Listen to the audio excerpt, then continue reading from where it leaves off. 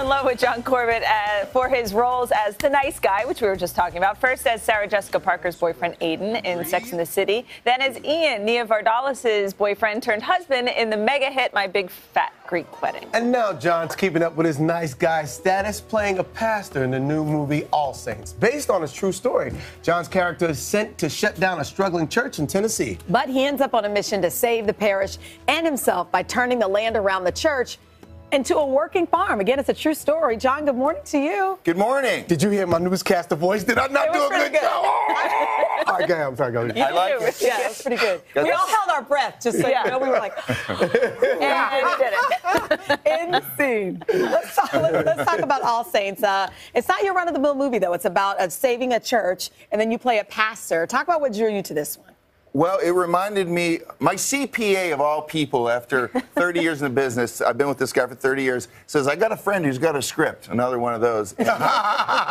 he sends it to me, I read 10 pages and, and say, What's this guy's number? It's just it's great. Yeah, it reminded me of mu- those movies I liked, like Robert Duvall and Tender Mercies, mm-hmm. Norma Rae. Not a lot of special effects, no mm-hmm. no car chases and explosions. Just a, a great drama about a, a small community that comes together uh, with some some uh, refugees from Thailand, from Burma, uh, from war-torn Burma, and about 40 refugees show up at this church that he's closing down, and they try to save the church, and the one thing that they thought would happen doesn't happen, but something else beautiful happens, and it's just a great, it's a real story that happened in the in the.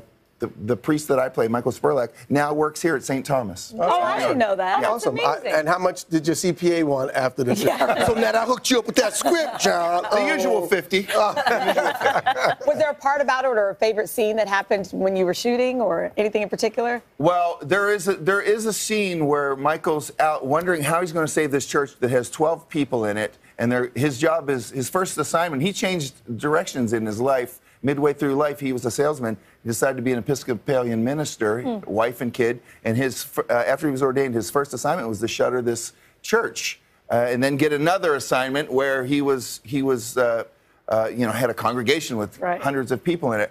And that's when the refugees show up. He's thinking what to do one night walking in the field, and God literally speaks to him. It's never happened to him since, never happened before, but in a real voice, God gave him the plan to use these farmers to turn uh, t- about 20 acres into, into crops that they could feed the, the refugees with and then sell to maybe save the church. Wow. Good story. And, and Michael showed up only one day, the day we were shooting that scene with his family in Nashville. And uh, we had a nice walk. We shot at the real church, All Saints Church, and the real fields, and we were That's out so walking in cool. the fields. So it was cool. That's And dope. now you're uh, promoting this film, walking around New York. So we have to ask about Sex and the City. Yeah. Do people stop you thinking like, "Ooh, hey, is there going to be another It's one?" Aidan. Can we ask? Hey, is there going to be another one? You know, it was 2000. It was almost 18 years ago Isn't when? I was walking around New York, being Aidan on the show that was on TV. Now it's still on every day in syndication, but I still kind of have the same Aidan haircut,